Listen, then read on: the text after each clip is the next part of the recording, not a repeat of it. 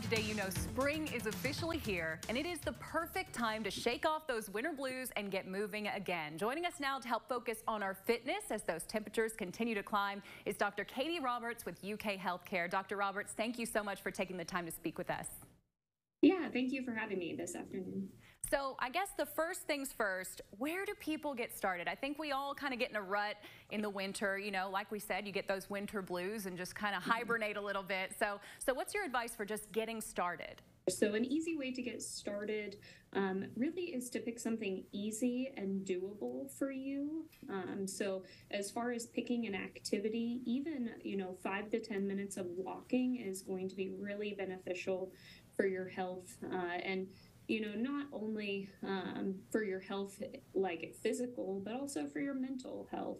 So what do you say to people who don't consider themselves to be workout fiends or maybe they, they haven't really had a fitness plan for a while?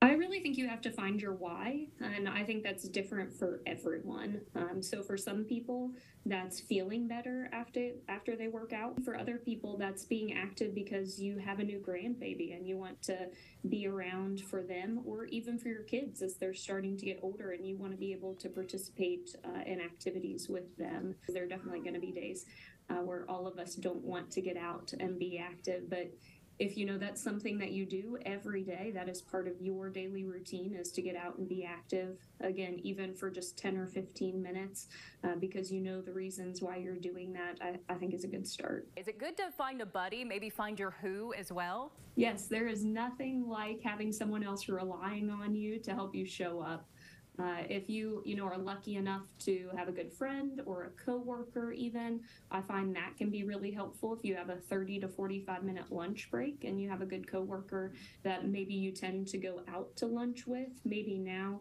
you all spend half or all of your lunch break if it's a nice day um, eating on the go eating something that you can hold in your hand and just kind of going on a casual walk on your lunch break. All great tips great advice dr roberts. Thank you so much